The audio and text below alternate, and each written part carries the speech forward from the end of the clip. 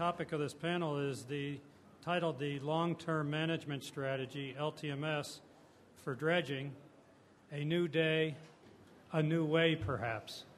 And the reason for that is the bay has changed fundamentally since uh, the LTMS process began. Consequently, we think it's time that we consider whether or not a new way to conducting our dredging program is necessary. It's been over 20 years since Mudlock spurred the development of the LTMS in San Francisco Bay. Since then, we have seen a profound change in the dynamics of the San Francisco Bay and an equally, if not more significant, change in the economy. So, the first uh, premise that we're going to touch on is Is the Bay changed? And what we're getting at there is there has been a fundamental change in the bay. The sediment dynamics have shifted, leading to a general statement that the bay is potentially sediment starved in some areas. For that subject, I'm going to ask Dave Schoellhamer to come up and brief us on his research and science, since he is actually the person who has uh, reached this conclusion. Thanks, Dave. Thank you, Rick. For those of you who are uh, not familiar with the United States Geological Survey, we are an agency in the Department of Interior, and our mission is to provide unbiased science to decision makers such as yourself. The areas that we study include natural hazards, energy and minerals, um, and water resources and ecosystems. I'm specifically dealing with water resources, and my specific topic of research is sediment transport in San Francisco Bay. Uh, as part of that research, for a number of years, as part of the regional monitoring program for San Francisco Bay, we have been monitoring suspended sediment concentrations in San Francisco Bay. This is the quantity of suspended sediments or mass per unit water volume in the bay. This has been going on for a number of years, supported by the Corps of Engineers. The time series of suspended sediment concentration is shown up on the screen these are data collected every 15 minutes with optical sensors, and these particular data are from Point San Pablo at the uh, Port of Richmond, and they were collected from 1993 to 2006, about 13 years of data. If you look at these data, you can see a white vertical line, and if you apply the very scientific eyeball method, you can see that the data to the left of the line appears to be greater than the data to the right of the line. And in fact, your eyeball would be very correct bay wide, with all of our monitoring sites, there's been a 36% decrease in suspended sediment concentration that began in 1999 and has continued until this day. With the gold rush brought people to San Francisco and also brought a lot of sediment into San Francisco Bay due to hydraulic mining. With that sediment came in in the late 1800s, early 1900s, and since then the bay has been erosional. Now, in 1998, that was an El Nino year, if you may remember, we had some record high flows through the river system that essentially washed a lot of sediment out of the bay. And so those contributed to the sudden change in the sediment regime beginning in 1999. Also, sediment trapping up in the watershed due to uh, deposition in reservoirs, deposition on floodplains, has also contributed to this change in the sediment dynamics in the bay. I'm frequently asked, well, is this change a good thing or a bad thing? Is this you know, the end of the world or what's going on here? And it certainly isn't the end of the world. It's, it's a very different thing. For instance, it's a good thing in that the bay is recovering from the effect of hydraulic mining during the gold rush over 130 years ago. Also, seagrasses in the bay are beginning to expand as there is more sunlight in the water column, so the seagrasses can expand for water quality standards for contaminants that are associated with suspended sediments, those water quality standards may be easier to obtain because there's less suspended sediment now in the water column. It is a bad thing if you are a tidal marsh um, trying to sustain yourself against sea level rise because that sediment deposits on the marsh to help sustain the marsh. It may also be a bad thing for water quality in terms of a process known as eutrophication with more sunlight in the water column, we're seeing more chlorophyll. when that chlorophyll dies off, it can uh, basically suck the dissolved oxygen out of the water and cause uh, things such as fish kills, as is seen in Chesapeake Bay. And so this is now a new concern for water quality regulators. In addition, there's been a uh, decline in some fish species, mostly up in the delta, known as the pelagic organism decline. And some of those fish species we know like turbid water, and the water is now less turbid, and so conditions are less favorable for those fish.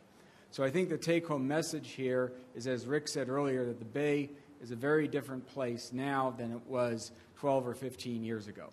Thank you.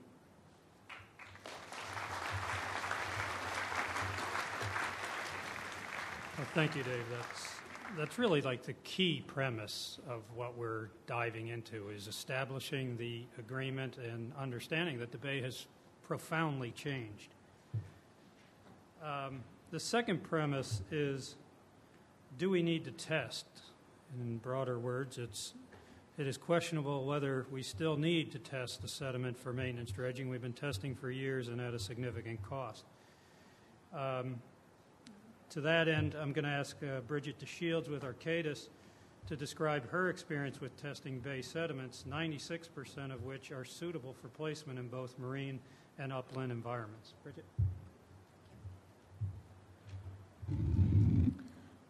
Well, I'm going to build a little bit on what Dr. Schoellhamer just uh, discussed as far as the suspended sediments in the bay, because really, what is it that we dredge annually from berths and harbors and channels? Well, it's uh, bay sediments that are resuspended every year. About 20 times more uh, uh sediments are resuspended in the bay than what we than what we dredge in the bay. Uh, so, really, what we're dredging is this ambient material that's in the surface uh, sediments of the bay that gets resuspended and redistributed in these deeper areas.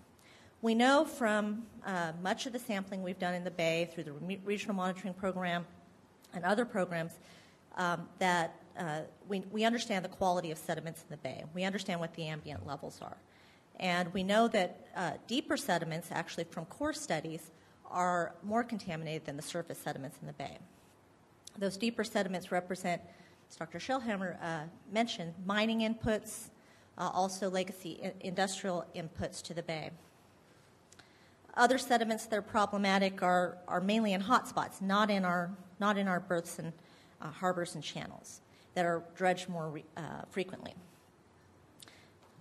We've been testing dredged uh, sediment in the bay for about three decades now. Uh, in that time, point sources have been uh, largely controlled, non point sources have been managed, and our monitoring of the bay shows that it has gotten cleaner. Uh, and studies have shown that the majority, uh, as Rick mentioned, of uh, dredge materials are suitable for unconfined aquatic disposal. This has been known since uh, um, 1990 when the Corps of Engineers did a big study on uh, dredge sediment data, comparing the uh, results of um, sampling done at that time that showed that very few dredge sediments had any potential to pose toxicity in the bay. And we've seen similar results since through works, work by SFEI and others. Um, yet, the testing requirements have continued to become uh, more complicated, more stringent. Uh, detection limits get lower. Uh, that's a lot of expense for material that continually uh, is tested in these same areas and continually shows uh, suitability for unconfined aquatic disposal. Some uh, areas do get Tier 1 exemptions, um, through the uh, testing framework, but probably not enough areas. Even for the regional monitoring program for San Francisco Bay, we've been debating the value of collecting sediment data every year. Uh, should we collect it every other year? Should we collect it every three years, every five years? We don't see a lot of change in the Bay.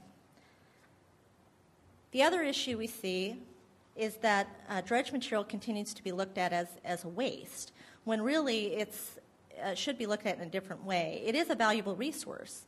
Um, keeping it in the bay and in the system, if it's clean, should be a good option. And we need to take another look at how we're managing dredge material. I put up an example here, a recent uh, uh, news article about Noyo Harbor, not in San Francisco Bay, but on our coast. And um, this is, I think, a good example of material that's been tested year after year after year and has shown to be clean. And they don't have a disposal site up there, so they take it uh, and they put it in an upland disposal site, and then they try to reuse it. On projects. It's become increasingly difficult for them to do this, and this is a headline we might see um, later this year. Noyo Harbor District spends tens of thousands in tax dollars trucking clean sand to a faraway landfill. Um, that would be a real shame. Uh, this material is, you know, as clean as what you might use for, you know, wetland restoration project or clean backfill on an upland project. And so, you know, it'd be a real shame to see this kind of material not reused in a practical way in a local area in a sustainable way. So, in closing, I just want to urge uh, the regulatory and dredging community to work together, find better ways to utilize resources in managing uh, dredge material, both uh, in terms of testing and also beneficial reuse. Thank you.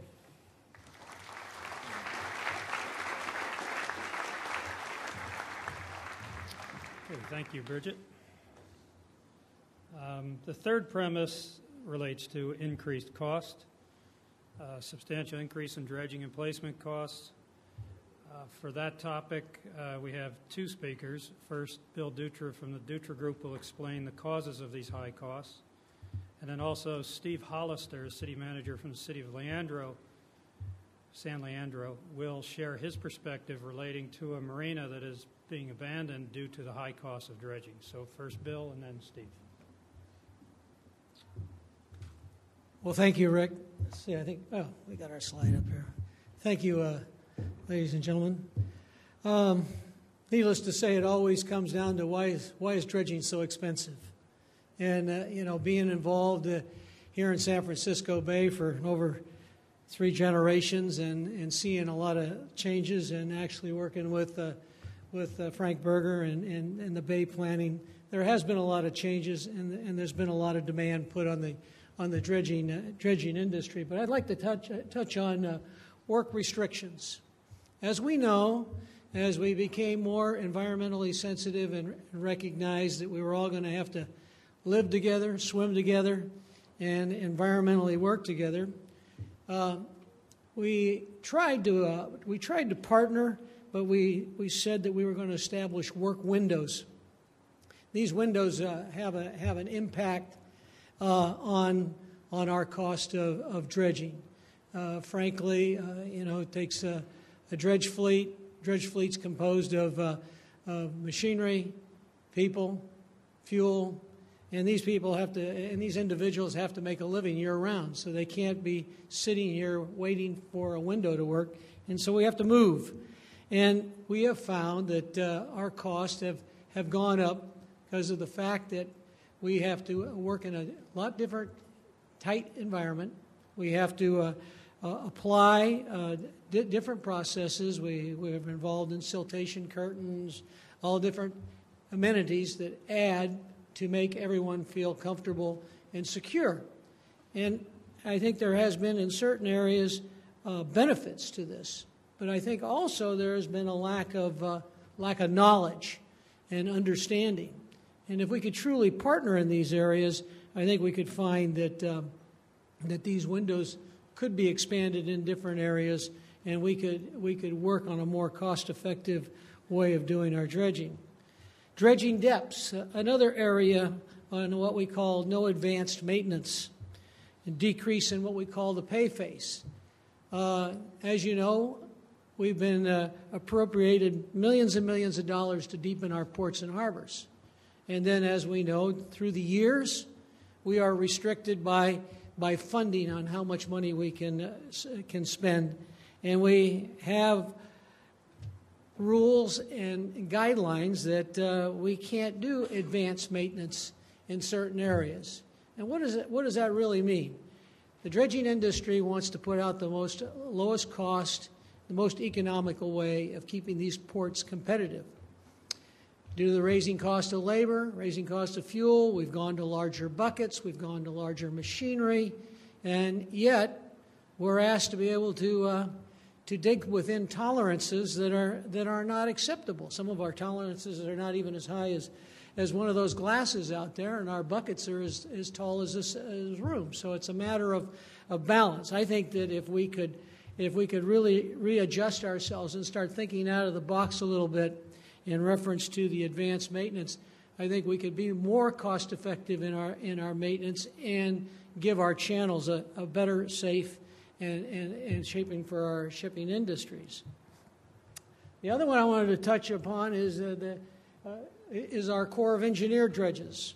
As you know, in the private industry, and this has always been confusing to the private industry, is we are only allowed to work within certain restricted areas. But our Corps of Engineer dredges are, uh, have a different set of, of, rules and regulations, and, and that really puts an impact on us because the law really says private industry first and then Corps of Engineer dredges second. And it's hard for me to understand when we're trying to uh, keep our ports, Port Oakland, San Francisco, some of the uh, San Pablo Bay areas, that our dredges in the private industry side are not allowed to, uh, to do their job. And it's, it's a cost. These, uh, these assets uh, cost money if they're sitting, and, uh, and we need to get the utilization up on them so that we can put a lower cost out to our, our customer. And our customer is the public. Other areas that we have is the rising cost of labor. There's no question. I mean, we're already facing uh, labor cost, and why? I mean, we've seen a, a large increase uh, at the gas pump here in the last uh, in the last few months. I mean, uh, these uh, these uh, individuals that manage these dredges, these are this our our work is a very dangerous working in the environment. It takes a high quality, skilled group of individuals, and uh, they have to be compensated a fair and economic wage, and they have costs, and so we have to provide a, a livelihood that develops that uh, personal uh, touch and, and that quality of uh, ind- individual. I mean, it's, uh, it's pretty simple. It's, uh, it's, it's tough for a family to make it today. We're seeing rising costs in school costs, grocery costs, etc. So it's another area that, that we're dealing with. And what we try to do is deal with it with our production, our capabilities, and some of the other items that I just had spoke on. Another area that we are challenged with is uh, upland displacement. Uh, I think it's excellent that uh, under the LTMS, you know, we've decided that, you know, first we were going out in the ocean, and we were going to go upland, and and we have different arrays of, of dredging projects, from mega projects in the deepening of the ports to uh, to a small marina operator or a boating and recreational area that uh, has uh, its own maintenance and issues. And I, I think we really have to reassess that area because I think we've taken a broad brush and we really haven't thought out of the box and we said, okay, let's just go upland. And as we all know, there was a major upland project uh, that the Port of Oakland uh, participated with, uh, I think, over 5 million yards and pumped it eight miles and, and built a beautiful sanctuary up in the ha- Hamilton Field area. Well, what does a marina operator do? What does a, what does a, what does a small maintenance uh, operator do? I think we have to think about where we can have these beneficial uses that are cost effective. Um, it's not fair to say that, you know, in, in, in my tender over the three generations and, and watching this bay, uh, I travel over some of these disposal sites that we're not allowed to use anymore. I think we have to reassess that, and I think we have to reassess the real benefit of some of these. Uh, many years ago, these disposal sites were not just used for dredge spoils. Hell, they, you could dump docks, broken concrete, whatever. They started, uh, they started not acting like the way they are. But now I think that we have the technology that we can uh, rethink some of these uh, adjacent sites that will make us more competitive and actually more make us more uh, cost uh, cost effective upland sites. I think uh, when, uh, when somebody tries to plan an upland site, I think we have to really look at the cost effectiveness and the overall all benefit uh, of it. Um, you know, these are big challenges, and uh, you know we can sit here and, and we can point fingers, and we can complain about agencies, and we can complain about uh, uh, delays and etc. But you know, I personally think if we as a group of individuals can not look at our individual responsibilities, that what we provide as a service, as being adversarial, but be truly partners.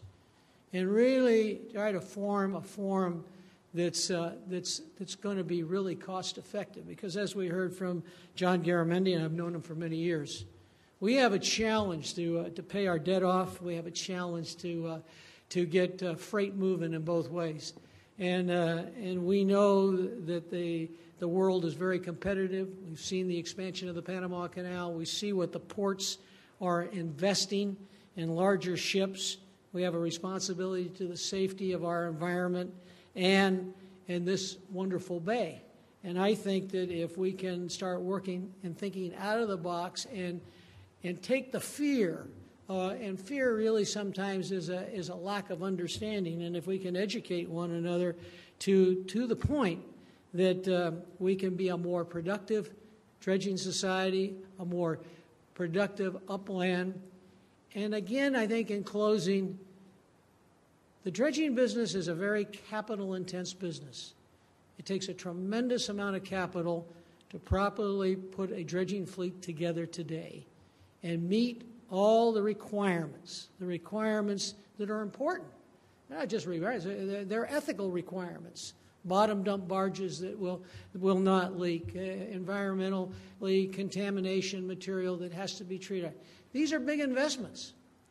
What happens is is we, send, we tend to go along for a year or two and then we decide to change.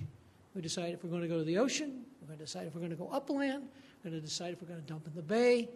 And those shifts, those short term shifts, have serious financial impact to the cost to the owner because we have to then readjust our capital uh, in, in reference to meeting the new demand. So I think, you know, when we talk about long term strategy, I think it's critical. And I think that we really do need to, to uh, truly respect partnering and really respect trusting one another and not be adversarial. And I think adversarial comes from just a lack of knowledge and fear. And I, it, with that, if we could put that together, I think we can dig ourselves out of the hole that this country is in and make our shipping industry and our productivity high. Thank you. Hey, thank you, Bill. Uh, Steve, now?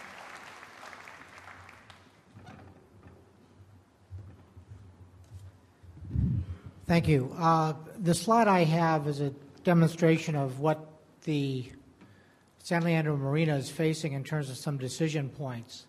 It's been a number of years where we have not been able to afford uh, dredging, which is usually paid for by the federal government through the Corps of Engineers, and it's a constant uh, situation of going back to Washington, D.C., asking for funds. Usually we're about two to three years behind when we should dredge, when the the dredging actually takes place. But more importantly, it's then the disposal of the dredged spoils, which has really made it infeasible for the city to, to continue to have a full uh, marina in San Leandro. We have a uh, uplands uh, dredge material management uh, site, which was at one time I, before I came on board to San Leandro, touted as a very uh, touted as a very uh, cost-effective way of dealing with spoils. However, what we've turned out is that the value of the spoils, at least on a fill type of market, has not been there. So we've been paying in the last dredge to uh, remove the spoils, take them over to Oyster Bay, which is about a mile away, but uh, transporting is very expensive.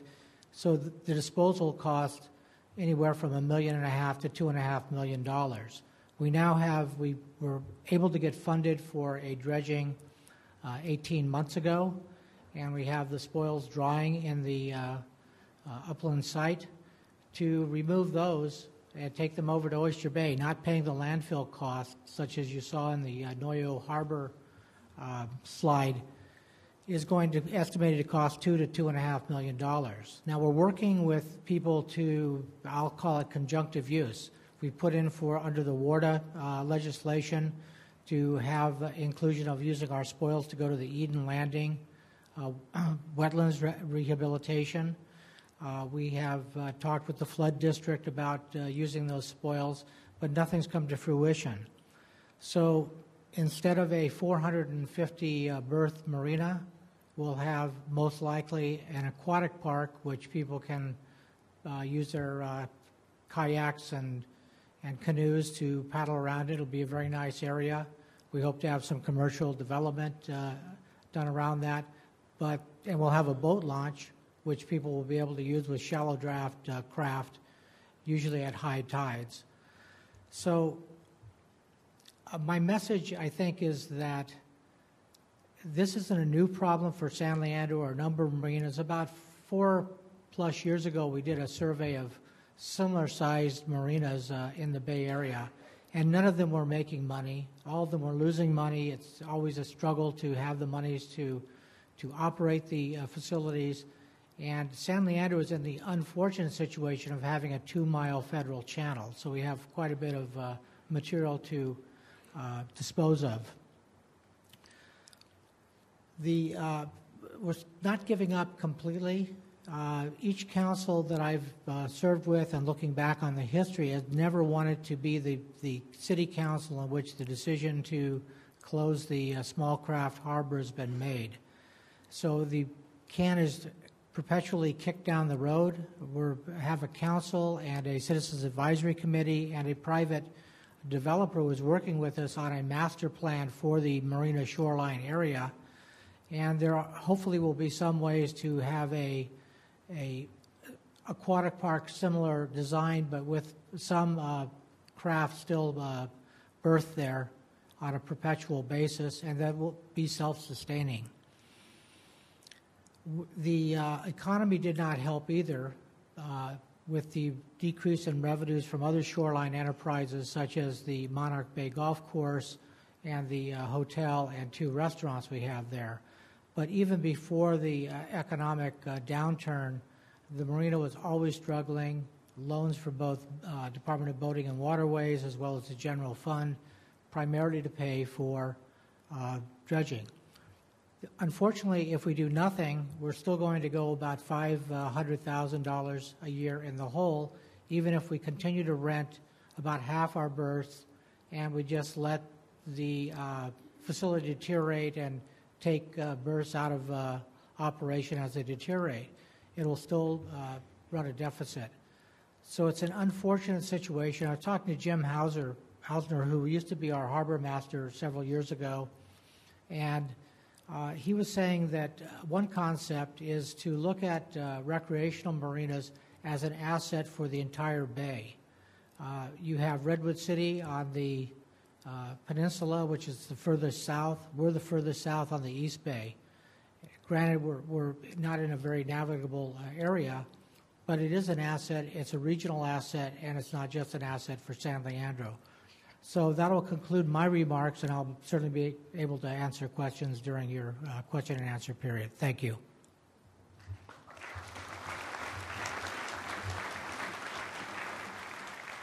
Uh, Thank you, Steve. That's a uh, very interesting case study for the Bay to look at, uh, particularly in the small marina market. Um, The fourth premise uh, relates to the significantly reduced federal funding, approximately 30% cut, I think, for FY11, or is it 12? Well, over what was enacted in 10, I think is 30%. Yeah. Um, So for that, uh, I'd like to have two of the panelists speak. Um, First is uh, Colonel DiCiro from the San Francisco District, and talk about the Corps' budget and where we're headed. And and you'll be speaking about the San Francisco District budget. The Corps nationwide has seen a dramatic cut. But then also, I'd like to ask uh, Sam Schuchat from the Coastal Conservancy to speak about his viewpoint of it, because Sam, through the Coastal Conservancy and, and the Hamilton Bel Marin Keys project, is a partner with the Corps, and I think uh, Sam can shed some light on what happens to, from the partner perspective, when your partner sees a significant funding reduction. So, um, Colonel.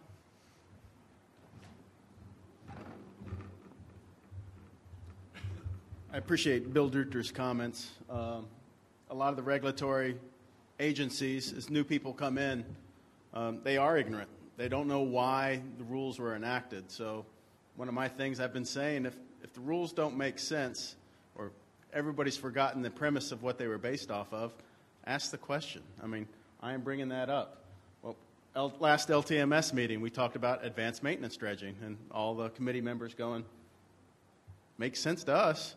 Why not do it? And then, of course, the Corps looks at our budget numbers like this. We can't even get back to authorized depth, much less go deeper. So we are looking at the Corps saying, okay, where can we cut costs? We will be looking at, instead of annual dredging, seeing if we can get from the Corps of Engineers to get maybe Oakland to do it for biannually. In other words, double the money, let a contractor go out there and get more economies of scale. Currently, I'm not even doing annual dredging right now. Last year in Oakland, we did um, let a contract out in September last year with a small amount of what was left over for the budget. We knew it wouldn't get us much. Then we put in options to use the fiscal year, this fiscal year money. So, what does a contractor have to do? He's got to bid based off the known, the base contract, because he doesn't know if it's a guarantee that the options will occur. So he's basing, I'm going to base the cost, expensive, off of the known base contract. Hey, it'll be all be gravy if we get the options, and then I'll get money. So I'm not even able to do dredging right now for a single year. I've got to take two years of money, put them together, and get efficiencies in contracting. What we would like to do is work with headquarters, USACE, and say, you know, let's pool two years of money together and put it to Oakland maybe in 10, 12, 14, and get it more economies of scale, if that kind of makes sense. Um, other things we're kind of working on to get money down where possible. Uh, again, coming up from industry. Whenever I sit down with industry, there's great ideas coming out. One was sand mining in Suisun Bay. It's like, hey, the sand miners are a mile away in the in the uh, shallow portions. One guy was like, I would love to put my sand miner in there in the federal channel and get rid of that problem. And so right now we're working with State Lands Commission. Maybe we can get a break on royalties and get them in there. But it's starting that process of ideas from the community. Uh, throwing this chart up, yeah, we've been told 10% cuts starting this year, next year, and on down the line. So what's the Corps doing? With their work plans, they're focusing on those uh, projects with the most tonnage. So the strategic ports, Oakland and Richmond. So with the budget that we get, if it's president's budget, based off last year, one, uh, one, one year's of money can get me about 57% of what shoals up. So every year something shoals up, we can get about 57% out. And then with the downturn in the budget, and also with Hamilton shutting off and having to go to deep ocean disposal for 2012 in Oakland Harbor, I could probably get about 29% of the sedimentation out. So, overlapping what was left over from 11 and what's not taken out in 12, that gives me about 17% of what shoaled up out. In 2013, another 29%, and about 5% of all the sedimentation is out. So, that kind of tells you where the slides are on that. Um, Richmond, same way. You can kind of see the 10% budget starting to take off, uh, going from 50% annually to 47% annually to 40%. And then Suisun uh, also starts building up. I think some of the uh, industry will talk about some of the ways to get from Harbor Maintenance Trust Fund. It isn't for the Corps to advocate to do that or not. We just, again, execute what Congress gives us the money to and execute. So you will never hear us advocating one way or the other. Um, what was the last part?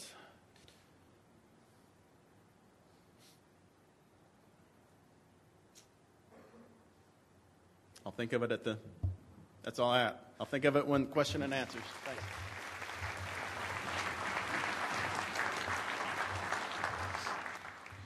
Thank you all for being here. Uh, I'm Sam Schuchat. I'm the executive officer of the State Coastal Conservancy. And speaking of budgets, uh, Trav, you'll be happy to know that the governor has just released an executive order banning all non essential travel, including attendance at conferences. So, this is my last public appearance of the year. Um, maybe, who knows? So, let me give you my basic perspective uh, on uh, sediment management and the LTMS, and then uh, I'll talk a little specifically about the uh, project which has me joined at the hip uh, with the Colonel. Uh, fundamentally, we think at the Coastal Conservancy, and I think that in the era of sea level rise, throwing away sediment is stupid. The seas are clearly rising. They have been rising. They will continue to rise. There's very little evidence that I see that the global community is going to start restricting carbon emissions anytime soon. You may disagree with that, but show me the, show me the evidence to the contrary. And even if we stopped putting carbon into the air, uh, we're looking at a planet that will continue to warm for centuries and seas that will continue to rise for perhaps as much as a thousand years. So, dredging our harbors and then dump, dumping all this good, clean dirt into the ocean is silly, in my mind. Uh, unfortunately, moving it around within the bay has proved to be much more expensive than was originally uh, expected. When Hamilton was in the planning phases, and this is before my time at the Coastal Conservancy, we were told, among other things, that it would cost two to three dollars per uh, metric yard, per cubic yard, uh, to move the dirt to the Hamilton site. The actual cost has been more like ten or twenty dollars per cubic yard. So that's a very significant uh, difference. Obviously, it's an order of magnitude, and uh, honestly, if we had known that, we probably would not have gone into the project to begin with, and we certainly wouldn't have accepted ownership of Hamilton Field, which did occur on my watch. Uh, because some of the cost estimates for this project, particularly for the completion of Bel Marin Keys, have been so high that there is no scenario, no funding scenario under which we could complete the project. Even if the Army Corps of Engineers was flush, and even if I was rolling in money the way I was, let's say, five years ago, um, there's no way we're going to do a $600 million restoration project and only restore 2,400 acres. Um, we, we can't do that. And of course, he's not flush. Um, and I, you know, I've still got a few bucks, but uh, there's no money for the Bay Area in the water bond proposed for 2012 right now. Uh, and of course, the water bond may or may not pass. And if it doesn't pass, then next opportunity is 2014. And by 2014, uh, I will be uh, out of money, out of funding, and not just for the Bay Area, but you know, but but but for the whole state. Now, this is a big motivating factor for us to be looking at the alternative transfer facility which, um, while not cheap, uh, would uh, make moving sediment to Hamilton and Bel Marin Keys significantly less expensive. It deals with one of the problems that Bill mentioned, which is sort of the uh, having your equipment and people on standby. Uh, it would sort of alleviate that. People could uh, drop the material off, and then we could pump it when we wanted to and, and were ready. Unfortunately, uh, this proposal is giving some of our regulatory friends uh, heartburn, and uh, we need to figure out a way to work through that with them. Uh, if we don't, I don't really see a way forward for uh, for for the Hamilton Bel Marin Keys project. We're just not going to have the money. Um, I'm now in the full uh, full measure of middle age here, so I've been around long enough to have seen a few recessions and to have seen some swings of the political pendulum, and I know that uh, nothing lasts forever and no party stays in power in Washington forever. Uh, probably not in Sacramento either, although that may be a different a different matter. So I I don't think we're going to we're not going to be broke forever, and the economy's not going to be in the tanks forever. Uh, but there's not going to be a lot of federal money around in the foreseeable future. uh, and the state's funding outlook is highly uncertain. Many of you know that I'm involved in an effort to generate some local funding for wetland restoration here in the Bay Area, but even if we're able to pull that off, it's not going to generate uh, enough money to do these multi hundred million dollar projects. So, uh, as everybody up here has talked about, we need to figure out how to make these things cheaper. One of the ways we figured out how to do that, we think, is the alternative transfer facility, but we're going to have to work our way through the regulatory process on that. So I'm delighted to be here, and uh, I look forward to uh, taking your questions.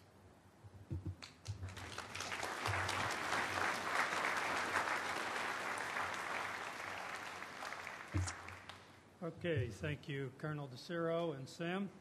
Um, so the fifth premise relates to uh, regulatory aspects, endangered species. Because um,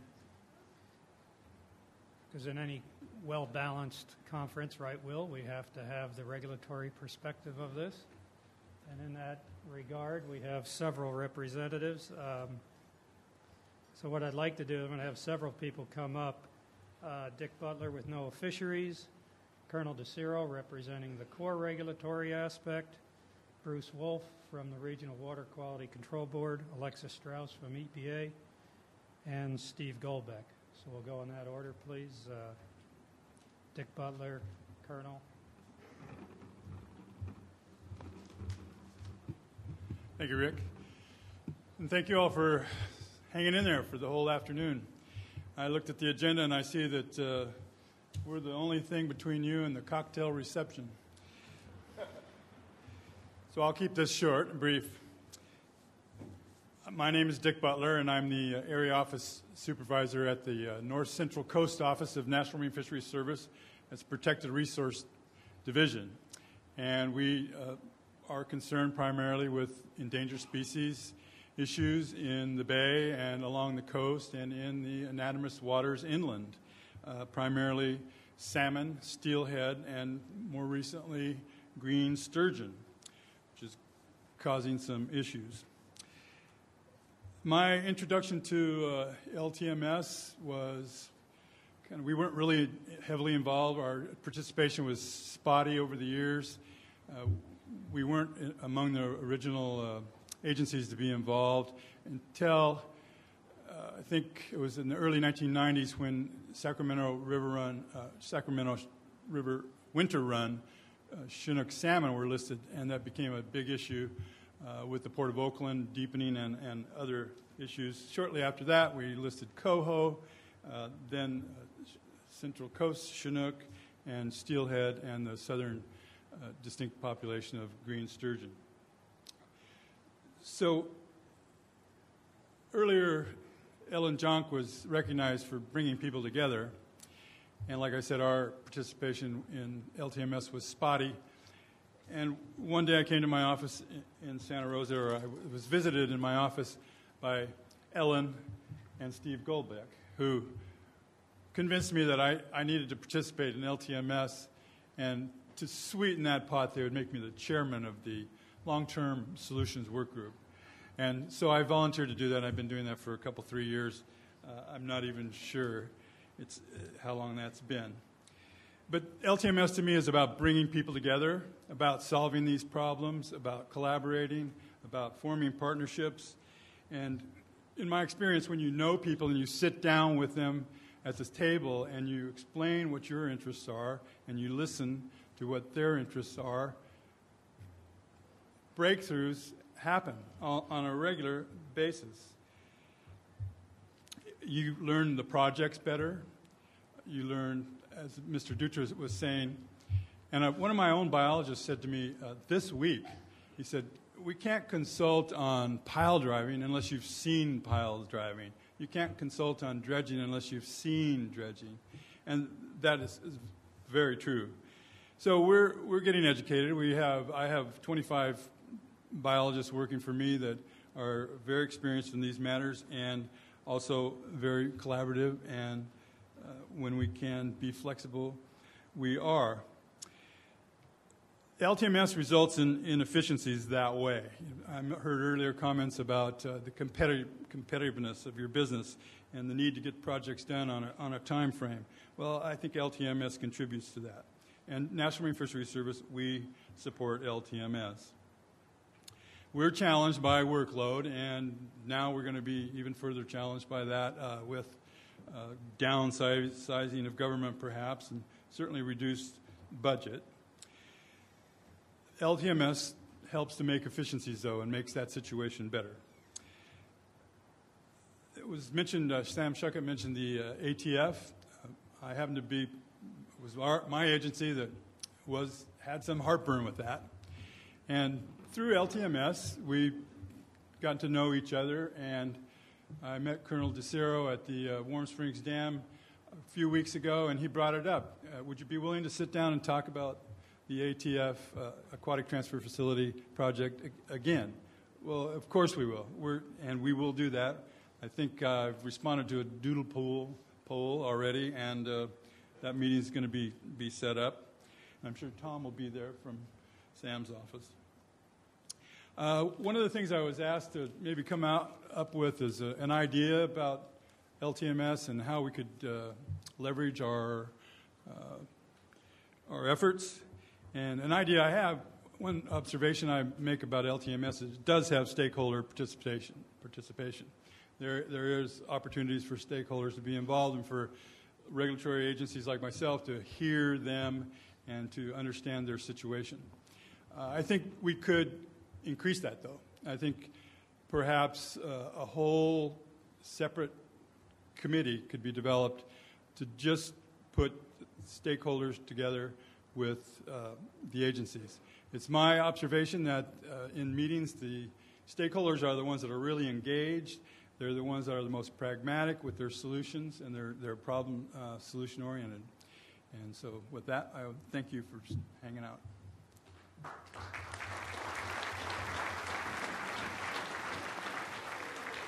Since Colonel DiCiro has already spoken twice about uh, regulatory, he's going to pass, and we're going to have Bruce Wolfe come up and speak. So maybe I'll say what you were going to say, huh? Or have said to a certain degree. Uh, greetings. I'm Bruce Wolfe with the uh, San Francisco Bay Regional Water Board, and our mission is to preserve, protect, enhance, and restore the bay.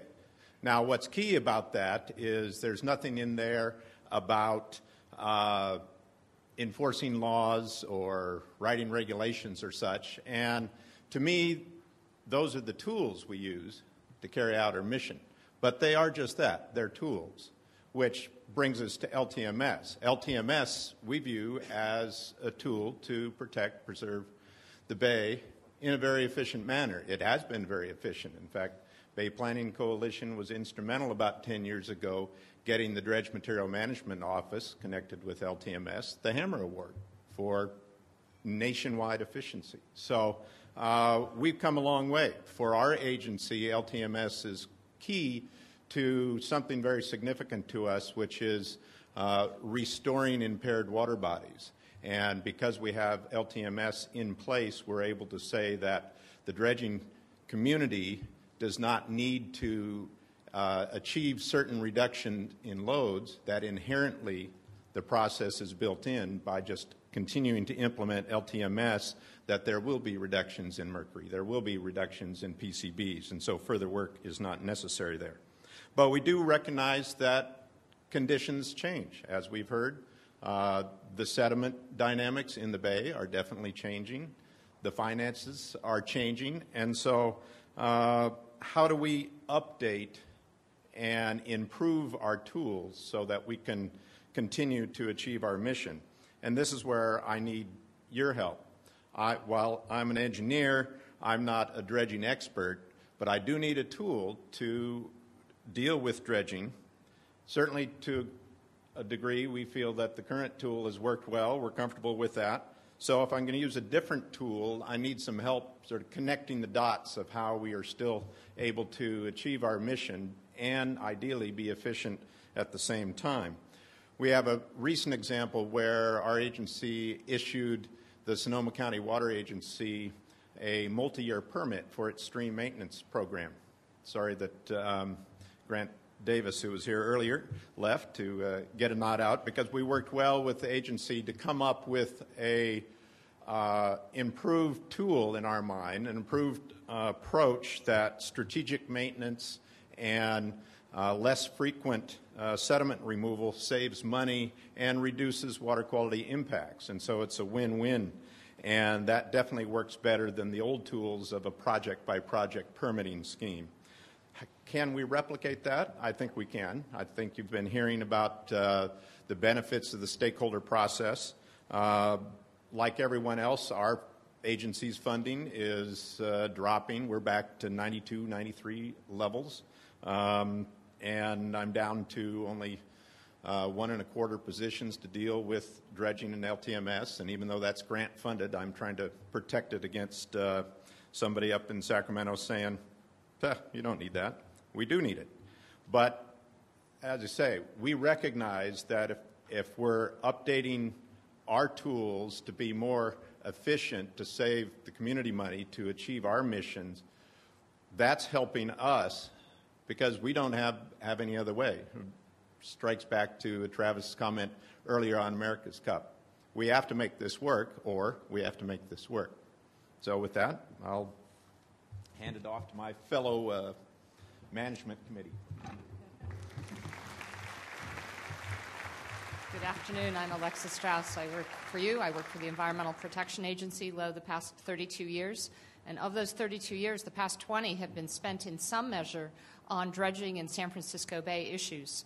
It's been fascinating. I still feel like I'm at the beginning of a learning curve, but have had wonderful partners with the Corps of Engineers, with BCDC, the regional board, and with the resource agencies, both NOAA, NMFS, and U.S. Fish and Wildlife Service, and a number of, of specific applicants who I think have really enriched our understanding of what we can do here in the Bay Area to make this work. It's interesting for me because I also am responsible for um, similar uh, EPA roles in LA Long Beach and in Honolulu and in very small harbors in the outer Pacific in the U.S. territories. So for me, this has been, and in particular with my colleagues on the East Coast, a, a long 20 year investment in how we can do this well. And I still firmly believe that we have set out what we achieved to do as we began almost 20 years ago, and that we have every opportunity now to be more innovative in addressing some of the cost and logistical issues that you've heard about throughout the day. What did LTMS set out to do? Um, in part, we set out to reduce in bay disposal because that was a task of convenience and we were getting rid of a waste, and that was a very efficient and cheap way to do it at the time. So we set out to reduce in bay disposal and we set out to promote beneficial reuse of those sediments. Um, in so doing, we also set out to make the permitting process much more efficient by bringing together the four key agencies Corps, EPA, Regional Board, and BCDC. That commitment and partnership continues to this day. As Dick noted, it also brings in the resource agencies. But that has been unusual for me in seeing the commitment of my colleagues and principals for those agencies getting together on a regular basis, getting together in a public forum um, every month or every other month to work through very specific permitting challenges. And I think that commitment on our part um, is something that carries forward for all of us. The Bay Planning Coalition has been very important in bringing not only key issues forward and advocating for its membership, but has also played a key role in being able to advocate for research funding. Um, both with Jim Haussener and CMANC, Ellen has been tireless in saying what are the research priorities that support dredging and port and maritime operations in the Bay Area. I will go look for that money, and I think, Ellen, part of the tribute that you have earned is that you've been so successful in being that advocate, and I wanted to thank you and wish you well always, even if you never have to advocate for another federal dollar ever. Um, a lot of very important science um, and partnership has come to understand the Bay because of that research effort.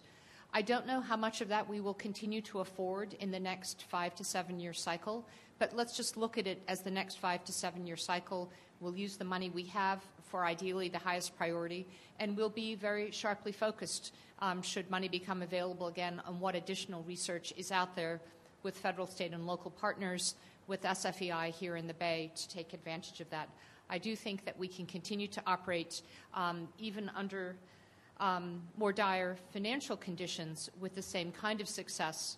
But two things stand out for us. One is clearly apparent is the Corps' budget for both projects and maintenance dredging very much affects our ability to beneficially reuse projects as an aspect of the larger dredging project. I'm very concerned about what that means for us in the Bay Area. It may be that we don't have any more large restoration projects for the next few years.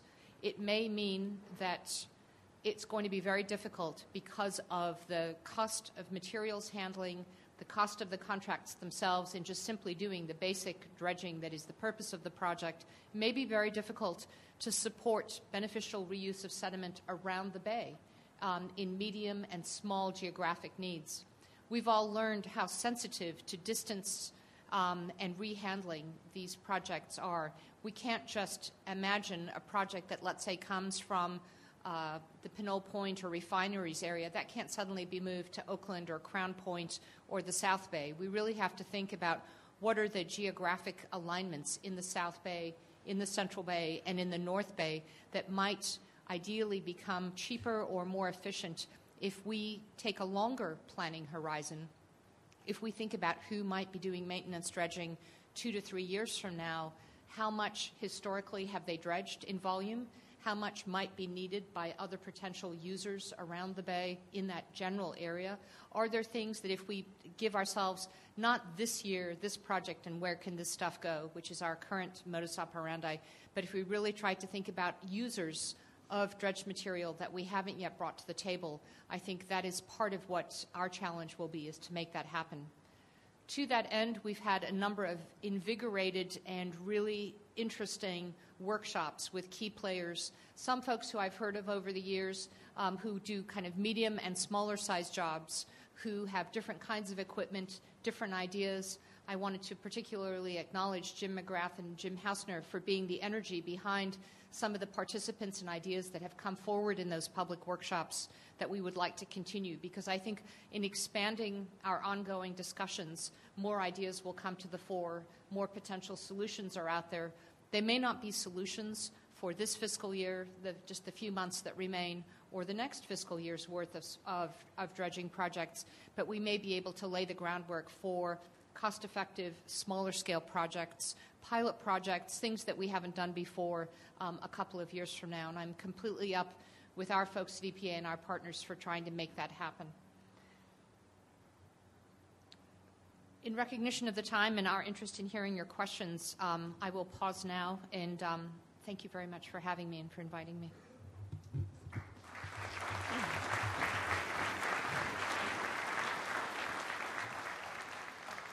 Thank you, Alexis. Um, I've asked uh, to keep this thing on schedule. I've asked Steve Goldbeck to hold his comments till following the sixth premise. Um, the sixth premise is where we, we, can really bring all this discussion together into developing some shared visions and tools. Uh, this process kind of started last year. I don't remember when, but uh, we had a dredging workshop in June of last year where we really kind of kicked off this discussion. And then uh, late uh, January and February, we had, uh, I think under Alexis's leadership, uh, some LTMS management committee meetings where all these stakeholders got together. And, you know, frankly, in my opinion, the discussions were uh, astounding. The, the type of discussion we were having, these were discussions that would never have happened 15 years ago. And so I'm very uh, charged and excited about where we're headed and and really the openness of the agencies to listen to these alternative ideas. Sure, there's all kinds of challenges and issues associated with them, but it starts with discussion and getting things on the table.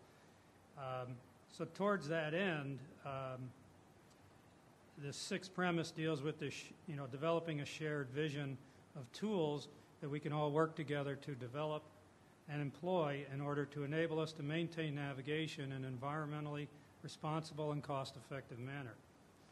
For that, I'd like to ask uh, Len Cardoza and then Steve Goldbeck to come up and share their perspectives on tools we can use to move the process forward. Um, Len, I think you know you can summarize a lot of what we've talked about at the LTMS meetings, and then Steve, you can give us that you know viewpoint of gee, what does it take to enact these things? What are the issues? Um, and then following that, we'll open it up to the, all the panelists to share any other perspectives they may have, and then we'll broaden out into the audience for questions.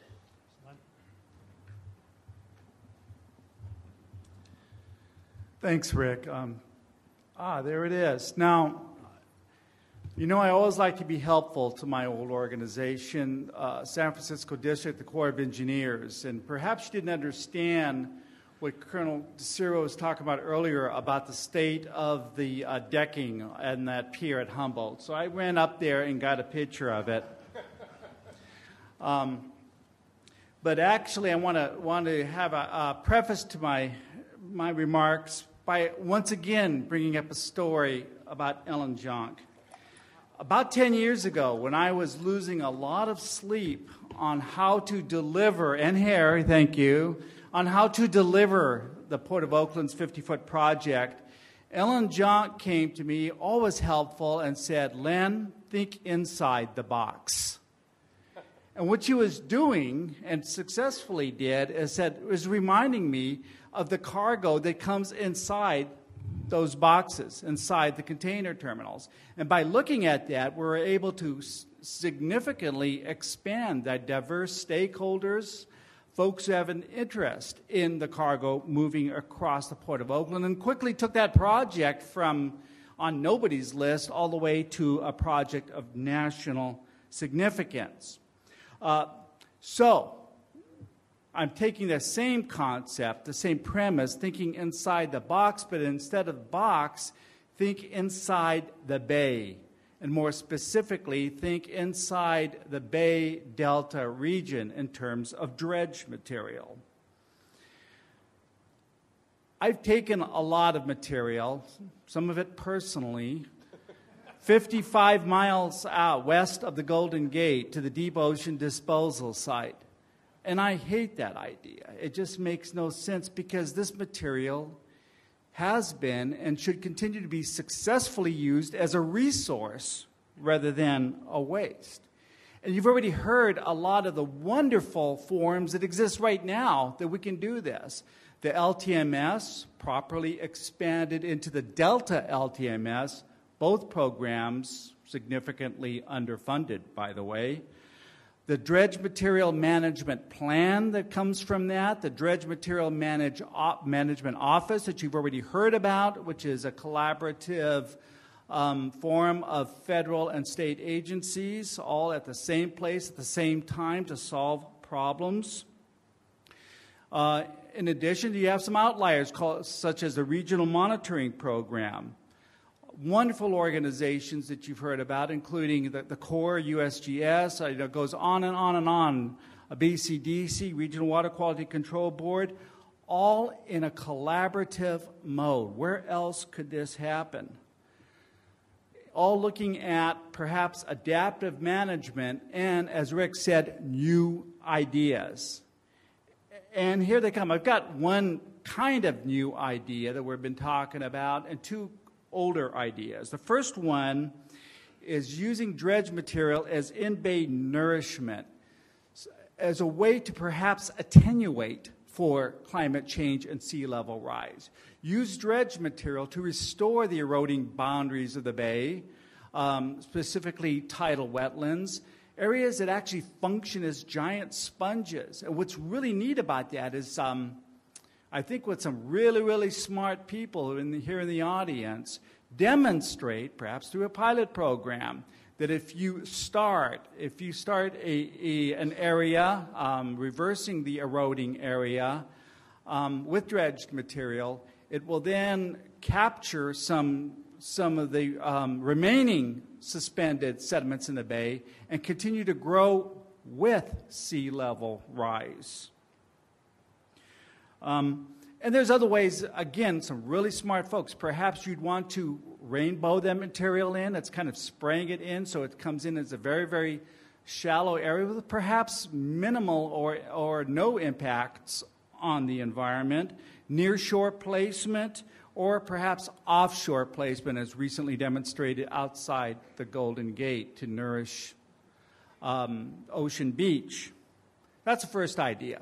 Second one, um, restore elevations in former baylands. Again, no, this has been done before Sonoma Baylands, Hamilton project that Sam spoke about, some potential new projects. But let's look at different ways of doing it.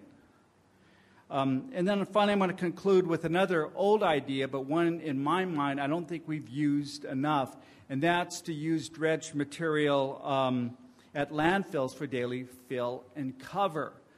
You've heard about the Noyo experience, but we've had, we, which was not successful, and also the, uh, an experience out in San, um, Santa Cruz, which was not successful in terms of being cost effective. However, recently we took dredged material from um, California Maritime Academy uh, to Dixon landfill, and it was very uh, successful. And it, uh, the material was used as an almost impermeable layer to cover the garbage on a daily basis. So let's take lessons learned from the successful operations. So far, I believe to date, only only, uh, at least in the Bay Area, only what I call chemically challenged or unsavory dredged material has gone to landfills. But perhaps it is cost effective to use, say, uh, to use a clean dredged material, including sand. Thank you very much.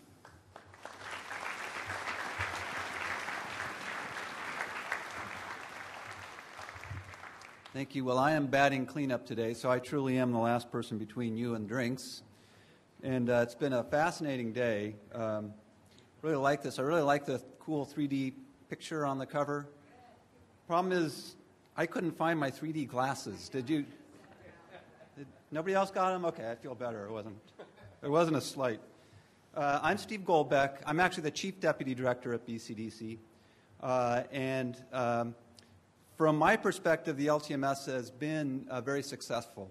Uh, anybody who remembers the good old days of Mudlock uh, will know that we've gotten major, helped major dredging projects like the Port of Oakland 50 foot project to be accomplished. And dredging has become routine. We don't have the challenges uh, from the environmental community. Dredging goes on. But on the other hand, the world has fundamentally changed. And I have to say, I agree at least with uh, the former speakers in the aspect that taking material that could be beneficially reused out to the sea, to the deep ocean site, no longer really seems to make sense to us. But on the other hand, going back to dumping it, for example, at Alcatraz, I don't know if that makes sense either. The majority of the material disposed of at Alcatraz goes right out to the ocean. And in an environment where we have less suspended sediments in the bay and we have sea level rise that's going to challenge the ability of wetlands or remaining wetlands to be able to persist as the sea levels rise, we're going to need to use that material very judiciously. And Dr. Callaway, uh, a wetland scientist has said the most important thing in wetland restoration projects in the Bay is when you restore these subsided sites is to very rapidly get them up to that intertidal elevation where you start to get organic plants growing because then you have not, not only the sediments coming in, but you also have the growth of the plant matter to help these wetlands persist. So it seems to me that the information that Dr. Schoellhamer has given us tells us that we need to actually redouble our work to beneficially reuse dredge material to help us in our regional approach to managing an expanding bay. And I think that uh, we do need to learn from the past efforts, the things that worked and the things that didn't work. We have some really strong economic challenges now. But uh, really, as other speakers have said, this is a, a, national issue. It isn't just an LTMS issue or a beneficial reuse issue. Uh, we all have to support the RAMP le- legislation and other approaches to get uh, new funding to bear on this. And I think partnering with the environmental community doing large scale restoration and small scale restoration is a good way to try to work those collaborations. And the LTMS program is, has limitations because it's an actual program that has been acted into state and federal policy, so it can't change on a dime. But the good news is the LTMS program has a lot of flexibility that was built right into it. Uh, we look at whether we're meeting our targets in three year averages as opposed to any given year. So there is the understanding that if we hit hard economic times, we may not be able to track the program. But also, when we have these fundamental changes like we're seeing now, we also have three year and six year reviews in the LTMS to say, is the program working? What isn't working? How do we change it? And I think this is where we can start to bring some of these ideas that we've been talking about and start looking at how we put them into the program. And the last pitch I will make is that I think a, a big part of that strategy ought to be the concept of regional sediment management. And this is the idea where instead of looking at your navigational dredging project or this flood control project, we look at the bay system as an entire system and how sediment processes work in San Francisco Bay. So we'll need to give more dollars to our uh, USGS friends to do some key research, but we also look at how we're managing the system and how we can manage it better. And some of those ways we can manage it better may be able to address some of the issues we're talking about. It may make sense to be feeding mudflats. In fact, we have a grant at BCDC from the US EPA uh, uh, to look at wetlands up in Corte Madera and look at pilot projects for ways to feed wetlands to help them persist. And we need to look at that, though there, you have to think about how we're going to do something that works. Like Mr. Dutra was talking about, to be efficient, most of your dredging projects, you need to dredge, you want to dredge 600,000 cubic yards. You want to dredge a lot of material at one time placing that on a mud flat is going to have some real challenges in addressing uh, environmental quality issues and addressing endangered species habitat issues. So we're going to need to look at where should the big projects be reused, maybe at a aquatic transfer facility to Bel Marin Keys. Maybe we want to do is looking at small projects, small marina projects, and feeding wetlands. So these are the kind of things we need to be looking forward in a regional sediment management context.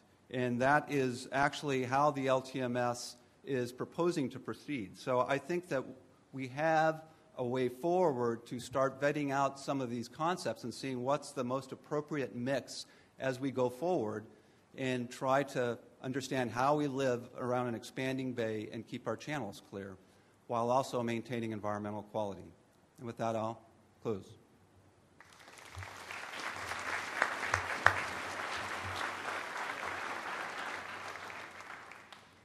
Thank you, Steve. With that, uh, I'd open it to any of the other panelists if they have any other specific comments they'd like to make.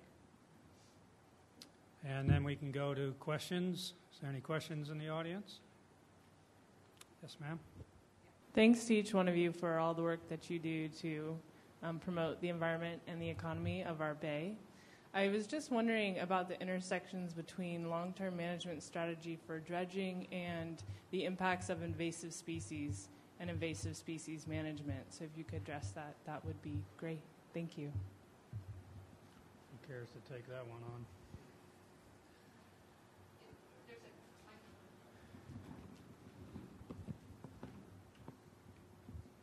Is this on? Okay.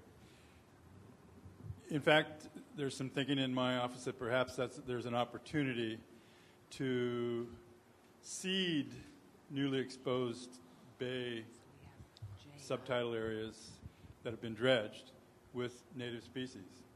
This is really in its infancy. It needs to be fleshed out. There's a lot of work. It's, it's just an idea at this point.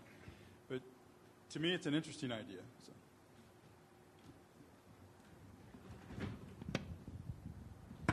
So. Um, I think that's a really cool idea. Having been involved in several successful invasive species eradication, I've come to the conclusion that it's unlikely that we're going to be able to uh, deal with invasions much in the future once they occur. I don't think we're going to have the capacity, at least as government agencies, to do that, and the name of the game is going to be stopping the invasions from happening in the, in the first place. And once they're in, um, it's very hard and very expensive. And even though we've been successful in a few cases, I'm kind of not optimistic about the future of getting rid of the things that are already here.